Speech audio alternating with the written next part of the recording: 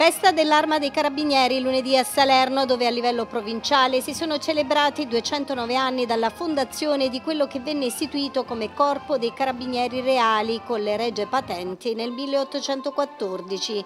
La giornata celebrativa ha avuto inizio presso il comando provinciale dove si è tenuta una solenne commemorazione dei Carabinieri Pezzuto e Arena, medaglie d'oro al valor militare alla memoria, brutalmente assassinati nel 1992 a Ponte Cagnano nel corso di un un conflitto a fuoco con due criminali.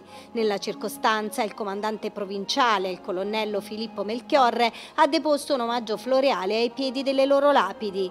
Le celebrazioni sono poi continuate nel tardo pomeriggio con la cerimonia militare presso il lido del Carabiniere.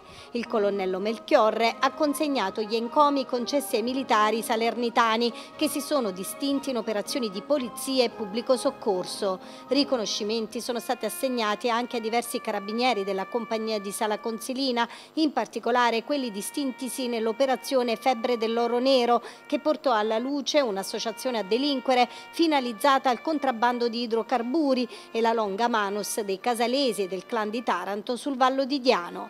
Nel suo discorso Melchiorre ha evidenziato quella che deve essere la bussola etica per un carabiniere, i valori di militarità, competenza, coraggio e umiltà che soli possono restituire ai cittadini fiducia nelle istituzioni. Ha quindi rivolto un pensiero ai 97 carabinieri del comando provinciale di Salerno che nell'ultimo anno sono rimasti feriti nel corso del servizio e ai 95 comandanti di tenenze e stazioni che hanno perseguito nell'ultimo anno l'80% dei reati denunciati.